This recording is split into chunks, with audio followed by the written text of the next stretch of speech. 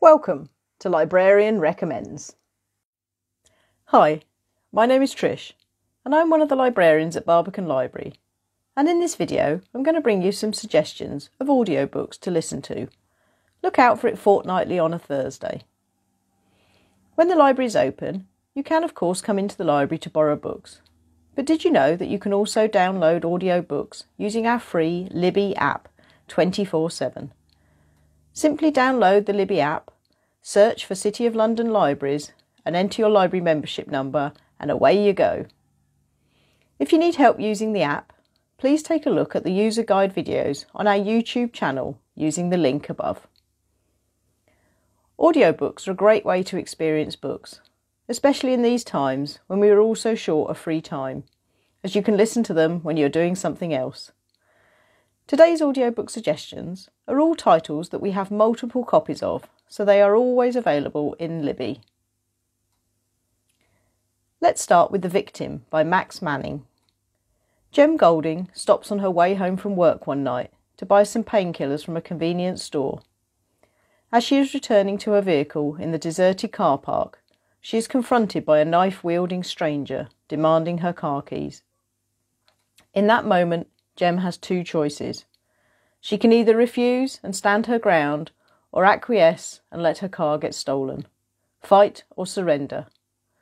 It's at this point that the storyline diverges, and through alter- alternate chapters, we see the consequences and repercussions of each choice as both scenarios play out.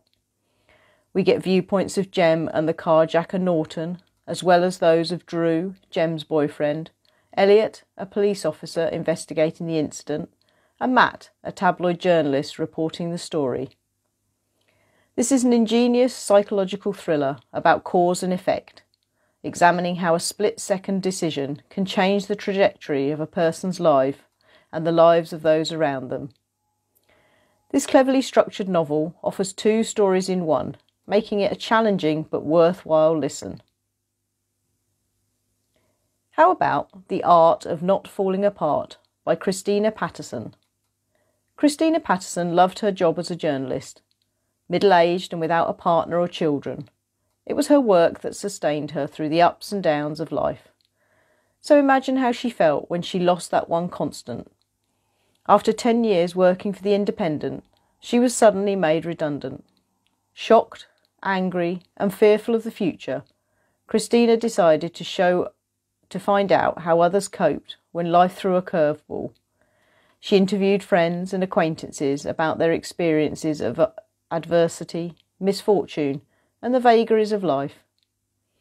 In this book, Christina tells her own story and those of others who have suffered setbacks, loss, disappointment, failure, humiliation, and despair. She examines how people cope in tough times, how they deal with unexpectedly bad things happening to them, and how they move on from them. This is an honest, poignant, and ultimately positive book about resilience, bravery, perseverance, and surviving life's trials and tribulations. Next up is The Awkward Age by Francesca Segal. Five years after losing her husband, widowed piano teacher Julia Alden has found love again with James, a handsome, divorced American doctor. The couple are eager to be together, so James and his 17 year old son, Nathan, move into the London home Julia shares with her 16 year old daughter, Gwen. Neither child is very happy with the arrangement. The teenagers loathe each other, and there are other tensions in this newly established family. Every day is an emotional minefield for this blended family. However, during a Thanksgiving trip to Boston, Julia is relieved to see Nathan and Gwen finally being nice to each other. Things have certainly changed between them, and it's not long before their new relationship plunges the household into turmoil, severely testing Julia and James's relationship. This is an entertaining drama about complicated relationships, familial love, and the conflict that can arise between the different roles and identities we assume in our lives. The final audiobook is Gender Rebels by Anika Harry. This book tells the story of 50 women who cross dressed, adopted male personas, or changed identities to live the lives they wanted. Some of the names in this book are well known, others less so. These fascinating women across a variety of times and cultures broke the rules, subverted stereotypes, and made a difference. From Egyptian pharaoh Hatshepsut to marathon runner Bobbi Gibb, from miner Pili Hussein to musician Billy Tipton, all those featured were daring and defiant individuals who forged their own paths while often bringing about change.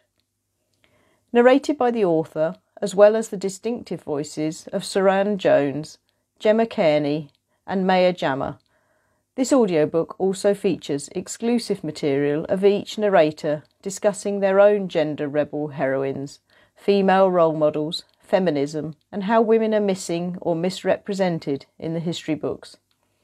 This is an informative and inspiring listen. We have lots of titles with multiple copies available on Libby, so you could also try Crackdown by Val McDermid, Dust by Patricia Cornwell, The Ice House by Minette Walters, In a House of Lies by Ian Rankin, and many more. I do hope you enjoy these ideas for your next listen, even if they are different to what you usually listen to. Delving into something new can be so absorbing and enlightening. And don't forget, you can search by genre or subject and availability, or simply browse in the Libby app. If you prefer to read books, look out for my Librarian Recommends video on ebooks fortnightly on a Tuesday. Please do like this video if you have enjoyed it and share it with your friends. Your support and feedback is invaluable to us. Before I go, I would like to thank my colleague Lynn for her invaluable help putting these recommendations together. Happy listening and see you soon. Bye!